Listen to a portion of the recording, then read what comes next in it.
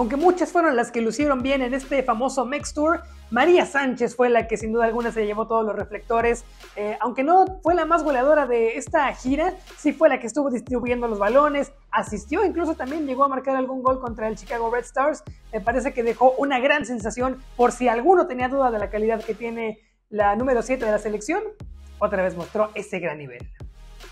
Más que una jugadora, yo creo que fueron varias, entre ellas Charlín Corral, Diana Ordóñez, pero las que de verdad me impresionó la conexión con la que se manejaban en el campo fue Jacqueline Ovalle y María Sánchez. Las dos por ambos costados, por ambas bandas, hacen mucho daño al equipo rival. Entonces, sin duda alguna, para mí ellas fueron las favoritas de este Mex Tour.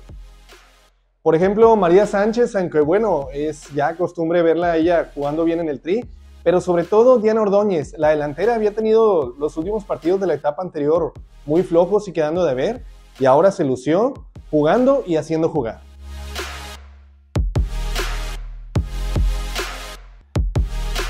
Cada día convence más el planteamiento de Pedro López. En los primeros partidos que había dirigido se notaba que todavía no entendían eh, la idea del técnico español, pero justamente en este último partido contra el Houston Dash es cuando se nota más la mano de Pedro López con la presión alta, con las transiciones rápidas, cómo no se atoraban en un cuadrito, siempre sabían salir de la presión del equipo rival y sí, me parece que cada vez convence más esta idea.